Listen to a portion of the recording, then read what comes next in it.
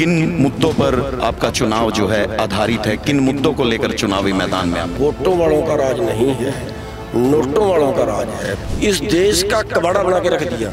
कि किसान कांग्रेस से नाराज़ होते हैं तो बीजेपी की सरकार बना देते हैं। बीजेपी से नाराज़ होते हैं फिर कांग्रेस की। ये आपके नहीं है ये तो कांग्रेस के हैं ये तो बीजेपी के हैं। आपका नेता कहाँ है? आपका तो नेता है ही नहीं जिसको वोट डाल रहे हो। पार्टियों में भी अमीर लोगों को ही टिकटें मिलती है जो चांदी का चम्मच मुँह में लेके पैदा होता अब आप देखिए तीस पैंतीस चैनल अंबानी के हैं पचास चैनल अडानी के हैं डेढ़ सौ चैनल सुभाष चंद्रा के हैं। आप हमारी जनता की बात करेगा कौन? कांग्रेस भी किसान नेताओं को डाइजेस्ट कांग्रेस का एक परसेंट रोल आंदोलन में हो तो बताइए लठ खाए साढ़े सात सौ शहीद हुए कितने मुकदमे बने? बाईस मुकदमे मेरे पे एक दिन में बने थे तीन सौ सात के। तो बोला था एक सीट दे दो एक सीट दे दो। हुड्डा कहता नहीं एक भी नहीं देंगे हमारे पास वोट तो आ रही है। और हुड्डा जो है ये कांग्रेस का बेड़ा भी बैठाएगा। भूपेंद्र सिंह हुड्डा तो सबको ही खुडे लाइन लगाते गए हैं। जिस दिन वो खुड्डा लाने लगे ना दोबारा तीन पीढ़ी तक उभरेंगे नहीं। जैसा आदमी बीज बोता है वैसे ही उसका फल काटता है। जिसका वादा किया था दीपेंद्र ने मुझे बुला के वादा किया था। और बाद में वो भागे। अपने बेटे दीपेंद्र हुड्डा के लिए वो रास्ता साफ़ करने पे तुले हुए जो नेताओं के जो कहता है और मुकर जाता है वो नेता होता है क्या? मतलब गठबंधन महागठबंधन बन पाएगा। खाली ये नहीं है की विधानसभा में चले गए तो संघर्ष बंद। वहाँ भी और सड़क पे भी। हम दोनों तरह की लड़ाई लड़ेंगे। नमस्कार, आप देख रहे हैं द लोकल न्यूज़ और मैं हूँ आपके साथ सुधीर चाखड़। हरियाणा का वो नेता जो पिछले 32 सालों से किसान और कमेरा वर्ग के लिए सड़कों पर संघर्ष कर रहा है। हरियाणा का वो नेता जिसकी एक आवाज़ पर जीटी रोड से लेकर रेलवे लाइन तक जाम हो जाती हैं। हरियाणा का वो नेता जिसने किसान कमेरों की लड़ाई लड़ते हुए जो ना जाने कितनी बार जेलों की यात्रा कर चुका है। हरियाणा का वो नेता जो नीडर भी है और लीडर भी है। हरियाणा का वो नेता जो अब किसानों और कमेरे वर्ग के मान सम्मान के लिए चुनावी मैदान में है। जी हाँ मैं बात कर रहा हूँ गुरनाम सिंह चढ़ूनी की, जो कि संयुक्त संघर्ष पार्टी के सुप्रीमो हैं और भारतीय किसान यूनियन चढ़ूनी के संस्थापक और राष्ट्रीय अध्यक्ष हैं। और फ़िलहाल पिहोवा विधानसभा जो कुरुक्षेत्र ज़िले के अंतर्गत आती है वहाँ से चुनावी मैदान में है। आज इंटरव्यू होगा धाकड़ विद सुधीर जाखड़ में हमारे साथ सरदार गुरनाम सिंह चडूनी जी हैं। जी Chaduni ji the local news पर स्वागत है आपका। जी थैंक यू। क्या हाल चाल है चढ़ूनी साहब? बस ऊपर वाले की दया है और पेहवा से चुनाव लड़ रहे हैं। चुनाव प्रचार का अभियान कैसा चला हुआ? है चुनाव प्रचार का अभियान अच्छा है बढ़िया चल रहा है। डोर टू डोर हम ज़्यादा कर रहे हैं। और कई टीमें लगी हुई हैं बहुत अच्छा रिस्पांस भी बहुत अच्छा आ रहा है। किन मुद्दों पर आपका चुनाव जो है आधारित है? किन मुद्दों को लेकर चुनावी मैदान में आप देखिए मुद्दे तो अगर हम गिनवाएँ मुद्दे तो मोटे तौर पे ये है कि हमारे देश में वोटों वालों का राज नहीं है नोटों वालों का राज है। पैसे से सत्ता खरीदते हैं सत्ता में आके पैसा बनाते हैं फिर पैसे से सत्ता और फिर सत्ता से पैसा। व्यापारीकरण हो गया है राजनीति का। यहाँ राजनीति का व्यापारीकरण हो गया शिक्षा का व्यापारीकरण हो गया स्वास्थ्य का व्यापारीकरण हो गया मरीज़ पड़ा हुआ है डॉक्टर को वो ग्राहक नज़र आ रहा है। बच्चा कोई लायक है डॉक्टर बनना चाहता है बन नहीं सकता दो करोड़ कहाँ से खर्चे? तो देश की जो व्यवस्था है वो गरीब और गरीब हो रहा है अमीर और अमीर हो रहा है। आज हम देखें आज अ, नौ लोगों के पास तेईस करोड़ पचास करोड़ लोगों के बराबर संपत्ति होगी। तेईस करोड़ लोग देश में रात को भूखे सोते हैं। बेरोजगार अपने देश को छोड़ के विदेशों को भाग रहा है, भारत महान को छोड़ के सोने की चिड़िया को दे छोड़ के। आज किसान सुसाइड कर रहा है, मजदूर सुसाइड कर रहा है, बेरोजगार सुसाइड कर रहा है। इस देश का कबाड़ा बना के रख दिया। और इसका जो कारण है, वो राजनीति है। जो हमारे राजनेता हैं, वो व्यापारी बन गए हैं, वो सेवादार नहीं रहे। इसलिए इस राजनीति के मायने बदलने की ज़रूरत है। वैसे तो हम आंदोलनकारी हैं, लेकिन जो कानून बनाने वाले हैं, वहाँ पे हमारा कोई है नहीं, और वो पूंजीपतियों के पक्ष में कानून बनाते हैं और फिर हम उनके तोड़वाने के लिए सड़कों पर लड़ते हैं। हम, हमारी वोट से बने नेता हमें ही लठ मारते हैं। हमारे से ही जड़ें कटवाते हैं हमारे भी मुकदमे बनाते हैं ताकत उनको हम देते हैं उस ताकत का दुरुपयोग जनता भी वो द्वार करते हैं। चटोनी साहब मतलब सत्ता नहीं आप व्यवस्था परिवर्तन की लड़ाई आप लड़ रहे हैं। बिल्कुल व्यवस्था परिवर्तन की लड़ रहे हैं। आप देखिए पिछले दस साल में पंद्रह लाख करोड़ रुपया कारपोरेट का माफ़ हुआ बड़े अमीरों का माफ़ हुआ जिनके पास करोड़ों अरबों रुपए रोज की कमाई है अरबों रुपए रोज़ाना की कमाई है उनका कर्जा माफ़ होता है। जो किसान, जो मजदूर, जो लोग कर्जे में मर रहे हैं या जिनका दो टाइम की रोटी नहीं खा पा रहे हैं या जिन, बीमारी का इलाज नहीं करा पा रहे हैं, या अगर ये पैसा उन पे खर्च दिया जाता तो शायद देश की व्यवस्था कुछ और होती। तो आज ज़रूरत इस बात की है कि जहाँ कानून बनते हैं, वहाँ पे जो किसान मजदूर हैं या छोटे दुकानदार हैं या छोटा जो आम जनता जो, जिसको हम बोल देते हैं, उसके नुमाइंदे नहीं जा रहे हैं। उसके नुमाइंदे वहाँ पहुँचाने की ज़रूरत है। ये तो कुछ हो गए, कुछ ख़ानदानी हो गए, कुछ हो गए हाँ यार, वो तो पार्टी के ही होता है राज तो बस। और बस वो पार्टी को फिर टिकट दे के पैसे, जो पैसे दे के टिकट लाते हैं और फिर पार्टी की सेवा करते हैं वो जनता की सेवा तो करते नहीं। वो तो पार्टी की चमचागिरी करते हैं पार्टी की खुशामद रखते हैं अपने आका की खुशामद रखते हैं चाहे वो पैसे से हो अगर उनकी पार्टी कोई गंदा कानून भी बना दे तो उस पार्टी का कोई नेता बोल नहीं सकता क्योंकि उसी पार्टी से उनको टिकट चाहिए। फिर ऐसा क्या है चढ़ूनी साहब कि किसान कांग्रेस से नाराज़ होते हैं तो बीजेपी की सरकार बना देते हैं बीजेपी से नाराज़ होते हैं फिर कांग्रेस की। ये जो अल्टा पलटी चल रही है किसान और मजदूर वर्ग ये क्यों नहीं समझता कि क्यों ना अपनी ही पार्टी बनाकर खुद ही चुनावी मैदान में अपने लोगों को विधानसभा और संसद में भेजे? ये कब समझ यही यही तो यही तो प्रॉब्लम है यही तो प्रॉब्लम है। उसी के लिए हम सब कुछ कर रहे हैं उसी के लिए हम शुरुआत कर रहे हैं कि लोगों समझो जिन जिनको आप चुन के भेज रहे हो ये आपके नहीं है ये तो कांग्रेस के हैं ये तो बीजेपी के हैं। आपका नेता कहाँ है? आपका तो नेता है ही नहीं जिसको वोट डाल रहे हो। शायद इसी वजह से जो ग्रास रूट की राजनीति है जो आंदोलनों से नेता पैदा होते थे विधानसभा संसद में पहुँचते थे शायद इसी वजह से जनता की भी तो कमज़ोरी है या जनता की कमी है तभी तो वो पहुँच नहीं पाते जो लड़ाई ज़्यादा कमी जनता की ही है। ज़्यादा का उनकी समझ में ये नहीं आता कि जो हमारे लिए लड़ रहा है जो हमारे लिए आंदोलन कर रहा है हमारे लिए लठ खा रहा है हमारे लिए जेल काट रहा है उसको तो हम वोट देंगे नहीं। हम देंगे पार्टी को। तो पार्टी फिर आपकी कहाँ है? और पार्टियों में भी अमीर लोगों को ही टिकटें मिलती है जो चांदी का चम्मच मुँह में लेके पैदा होते हैं। देखिए देखिए एक जगह से अब पेहवा से अगर आप उदाहरण माने तो तैतीस उम्मीदवार कांग्रेस के हैं हम्म। अब तैतीस में जो ज़्यादा पैसे देने वाला है वो टिकट ले जाएगा भाई नेता को तो पैसा चाहिए हम्म। जो ज़्यादा पैसे देगा वो टिकट ले जाएगा अब जो ज़्यादा पैसे दे के टिकट लेगा ज़्यादा पैसे दे के फिर आ, आ, जो है चुनाव लड़ेगा वो कमाएगा थानेदार से पैसे लेगा तहसीलदार से पैसे लेगा म्यूनसिपल से पैसे लेगा तो फिर आपके काम रिश्वत से ही होंगे। थानेदार तो नीचे से कमाएगा तहसीलदार नीचे से कमाएगा। जा, जाएगा तो जनता की जेब से ही और वो हो रहा है और हमारी जनता फिर फिर नहीं समझ रही है। समझाए कैसे? हमारा प्रॉब्लम ये आई है कि हम उनको तक अपनी बात पहुँचाए तो पहुँचाए कैसे? अब एक मीडिया मेरी बात का बुरा मत मानना। एक मीडिया संसाधन होता है देश की सच्चाई सामने रखने का। अब वो मीडिया भी नहीं बचा है।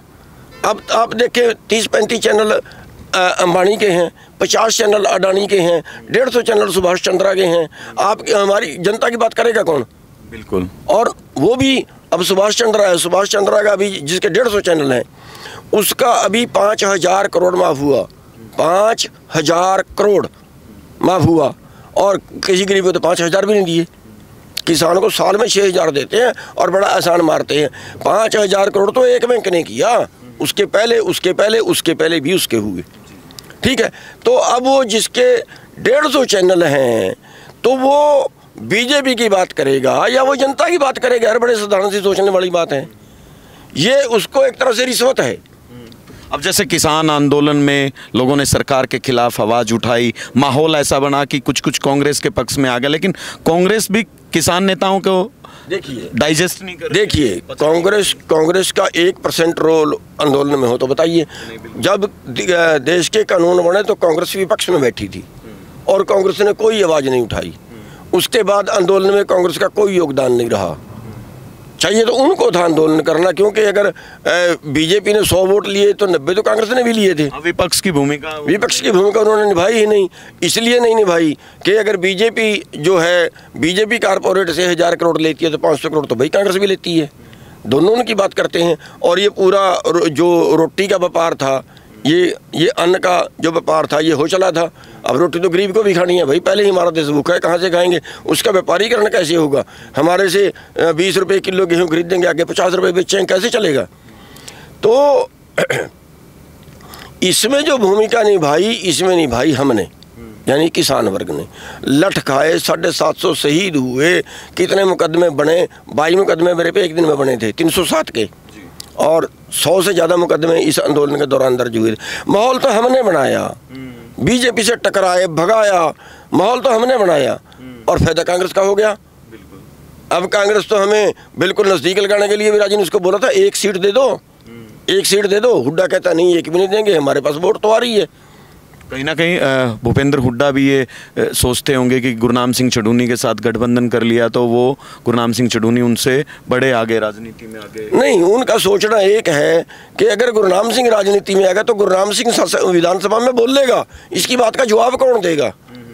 इसकी बात वो हजम नहीं होती ना उनको। तो बिना विधायक होते हुए सड़कों पे संघर्ष कर सकता है अगर वो विधानसभा में पहुँच गया तो वो विधानसभा में भी आंदोलन कर सकता है वहाँ भी आवाज़ उठा सकता है इस बात से। यही यही उनके मन में पीड़ा है। यही उनके मन में पीड़ा है कि अंदर जो वो गा, गाड़े रोड़े करते हैं मिली भगत के अब आ रहा है ना सामने साढ़े आठ सौ कुछ किले जो, हाँ, वो ज़मीन अभी अभी जब्त किए हैं। तो ये हुड्डा के टाइम का घोटाला है। और हुड्डा जो है ये कांग्रेस का बेटा भी बिठाएगा। कांग्रेस का ही बेटा गर्क करेगा ये। तो अब जो राजनेता है चाहे वो बीजेपी है चाहे वो कांग्रेस है उनको जो है आंदोलनकारी अगर उनके बीच में कहीं चला जाए तो दोनों को पीड़ा होगी। एक को नहीं पीड़ा होगी दोनों को पीड़ा होगी।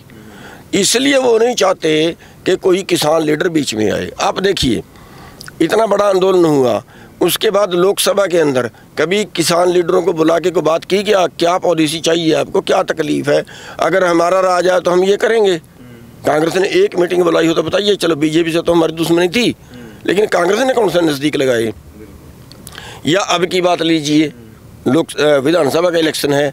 विधानसभा के इलेक्शन में हुड्डा होली सोली बनाया हुआ उन्होंने। तो क्या हुड्डा साहब ने कोई एक बार किसान लीडरों की मीटिंग बुलाई?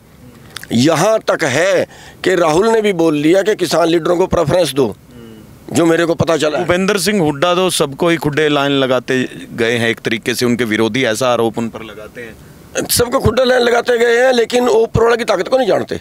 जिस दिन वो खुड्डा लाइन लगे ना दोबारा तीन पीढ़ी तक उभरेंगे नहीं। क्योंकि ऊपर वाले की ताकत को नहीं जानते। जैसा आदमी बीज बोता है वैसे ही उसको फल काटता है वो। और मेरे को नहीं लगता कि अब की बार हुड्डा की सरकार आएगी जो उसके हालात चल रहे हैं। क्यों? कांग्रेस वालों को कांग्रेस वाले ही हराएँगे। जिस तरीके की गुटबाजी है मैं ये कह रहा हूँ पिछले बार नौ सीटें आती। अगर मेरी बात कहीं राहुल गांधी जी सुन सकते हैं तो सुन लें।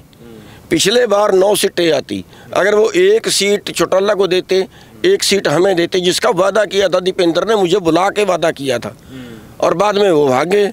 वादा खिलाफी की यानी कि अपनी ज़ुबान से भाग गए दीपेंद्र। मैं ये कह रहा हाँ तो नौ सीट जो है वो कांग्रेस की आनी थी। और अब पाँच सीट आई। तो पाँच चार सीट जो है वो अपने आप इन्होंने बीजेपी को दे दी। हुड्डा की हठ धर्मी ने। और अब जिस हिसाब से हुड्डा हठ धर्मी कर रहा है मेरे ख्याल से ये कि सरकार का सत्यानाश करके हटेगा। इसकी आएगी नहीं जो जो इसका हिसाब किताब चल रहा है। क्यों? कांग्रेस के मुकाबले में क्योंकि कांग्रेसियों को भी काट रहा है ना। कांग्रेसी जो इसके प्रतिद्वंदी हैं जो इसके बराबर के उनको भी काट रहा है। हमें नहीं अकेले काट रहा है। जब उनको भी काट रहा है तो मतलब अपने बेटे दीपेंद्र हुड्डा के लिए वो रास्ता साफ़ करने पे तुले हुए जो नेता उनके आगे की ऐसे रास्ता बदनीयत से कभी साफ़ नहीं होता। कभी और क्या क्या अहमियत है दीपेंद्र हुड्डा की? जो कहता है और मुकर जाता है वो नेता होता है क्या? बड़ी बड़ी खबर है क्योंकि कांग्रेस में हर विधानसभा में 20-20 30-30 टिकटों के दावेदार हैं और सब दीपेंद्र हुड्डा भूपेंद्र हुड्डा के फ़ोटो लगाते हैं। तो कहीं ना कहीं उन सबको भी टिकट का लॉलीपॉप दिया होगा। जब आप तो बड़े किसान लीडर हैं आपके साथ ही ज़ुबान से वो खड़े नहीं उतरे जैसा आपने आरोप लगाया तो उनका क्या होगा? देखिए बिल्कुल लॉलीपॉप दिया होगा या हम जो भी माने दिया है या नहीं दिया है, या उन्होंने अपनी मर्ज़ी से भरे हैं। लेकिन इसका ये है कि इसका यस मैन चाहिए। काबिलियत कैंडिडेट में क्या है वो नहीं देख रहे। ना भूपेंद्र हुड्डा का यस मैन होगा, उसी को टिकट मिलेगी। काबिलियत कितनी हो, उसको टिकट नहीं मिलेगी। और जिस तरीके की चर्चाएँ हैं, चडूनी साहब कि Indian National Lokdal Party Bahujan Samaj Party का तो गठबंधन का ऐलान हो गया। गुरनाम सिंह चढ़ूनी गठबंधन में कब शामिल हो जाएँगे? कितनी सीटें पर बातचीत चल रही है? क्या कुछ रहेगा? देखिए वो अभी जो है हमने एक दो दिन में हम राय कर लेंगे उसमें वो बात करेंगे और फ़िलहाल तो जो है उसकी कोई अ, कहना तो थोड़ी जल्दबाजी होगी। मतलब गठबंधन महागठबंधन बन पाएगा हरियाणा में? महागठबंधन तो शायद नहीं बनेगा। महागठबंधन तो वो होता है कि अगर पूरा विपक्ष एक तरफ़ हो जाए महागठबंधन के तो सार नहीं है क्योंकि तीसरा मोर्चा तो अब हरियाणा में। और तीसरा मो- तीसरा मोर्चा भी अगर सारे बीजेपी और कांग्रेस को छोड़ के सारे एक तरफ़ हो जाते हैं ना तो उसको उचित बनता है लेकिन वो भी हो नहीं रहे दूसरे नहीं हो रहे। पेहेवा के लिए क्या योजना लेके आए हैं कि कोई ऐसा मॉडल ये- भाई मैं अगर यहाँ विधायक यहाँ की जनता ने चुना तो पेहेवा में सबसे ज़्यादा जो दुख दुखी हैं लोग वो तो हैं यहाँ के भ्रष्टाचार से। बहुत ज़्यादा दुखी हैं। और बाकी जो यहाँ की व्यवस्था है डेवलपमेंट की, यहाँ तो आप किसी सड़क पर निकल जाइए, हर सड़क टूटी मिलेगी। यहाँ आप कोई कोई भी काम देख लीजिए, आप जो सरकार को कराना होता है। यहाँ मतलब यहाँ तो यहाँ तक है कि जो लोगों की शिकायत है कि जितने जो निर्माण हुआ है ना, उसमें भी सामग्री सही नहीं लगी है। यहाँ तक भ्रष्टाचार है। और बाकी जो यहाँ के मुद्दे हैं, जैसे मुश्तरका मालकान का मुद्दा है, जैसे यहाँ और जो लोकल मुद्दे हैं, बिजली के बहुत कट लगते हैं, कई डेरों में बिजली अभी तक नहीं पहुँची है, और जो सड़कों गलियों के मुद्दे हैं बहुत से मुद्दे हैं। आपने तो पेहेवा में भी तो आंदोलन आपने किए हैं कोई ज़मीन अधिग्रहण? बहुत बहुत आंदोलन किए हैं मैंने पेहवा में। देखिए यहाँ एक झील है बारह गाँवों की ज़मीन थी जो अंग्रेज़ों के टाइम से कब्जाई हुई थी सरकार ने और वो साढ़े पाँच छः हज़ार एकड़ ज़मीन थी जिनमें सरकार तीन महीने पानी खड़ाती थी और फिर गेहूँ की फ़सल उसमें किसानों की होती थी। ना उसका रेंट था ना उसका मुआवजा था। तो उसको हमने 2001 में आंदोलन करके छुड़वाया था और तब से लेके वो ज़मीन तीन फसली है, उसमें ट्यूबवेल भी नहीं लगता था, उसमें रास्ता भी नहीं निकलता था, क्योंकि जब पानी खड़ाते तो बोर नहीं लगता था। तो अब उसमें सारा कुछ हो रहा है। यहाँ पच्चीस तीस हज़ार एकड़ ज़मीन होगी जो मुश्तरका मालकान थी और दो साल पहले सरकार छीनने लगी थी, वो हमने आंदोलन किया था, उसके बचाई है यहाँ पे ये बाईपास जिसके पास, हम गुजर रहे हैं जिस रोड से, इसके मुआवजे की बात थी। वो हमने बढ़वाया था। अब भी उनका जो था बहुत से लोगों का अभी पच्चीस लाख और बढ़ गया है। तो वो भी हम ही ने करवाया अभी। हाँ, मतलब वैसे पूरे हरियाणा और भारत लेवल पर तो आंदोलन किए कि ये स्पेशली पेहेवा में भी मैं हाँ पेहवे की बता रहा हूँ यहाँ पे उसका निर्माण था ड्रेन के पुल का। पेहवे के दो हिस्से हो गए थे और वो निर्माण नहीं कर रही थी। उसको हमने यहाँ पे आंदोलन किया और करवाया। बिजली के कितने ये मुद्दे यहाँ पे रहे हैं। और कितने मुद्दे यहाँ पे रहे हैं मंडी के। अभी पिछले साल जो है सैलो गोदाम में सारी गेहूँ भेज रहे थे मंडी बंद कर चले थे।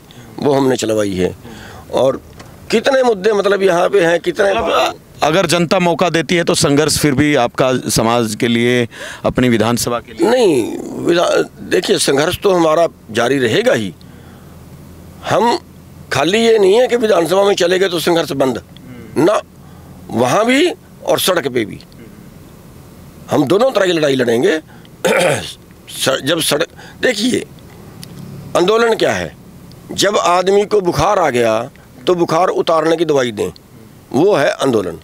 कानून बना के लागू कर दे उस कानून को वापस करवाना ठीक करवाना तो आंदोलन से होगा। एक होता है कि वो गलत कानून बने ही ना बुखार आए ही ना उसको पहले ही वैक्सीन दे दी जाए। बीमारी से पहले बीमारी से पहले ही उसको रोक दिया जाए।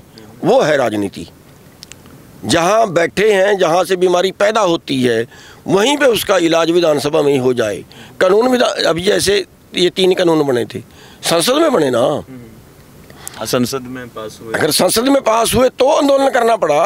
अगर ये संसद में पास ही ना होते हमारे दस लोग वहीं पे बैठे होते और वहीं पे लड़ मरते तो ये साढ़े सात सौ गिरवाने की ज़रूरत नहीं थी। हमें साढ़े सात सौ किसानों की शहीदी देने की ज़रूरत नहीं थी। आपका चुनाव निशान ऑटो है। और नॉमिनेशन पाँच सितंबर से शुरू हो जाएँगे बारह सितंबर तक हैं।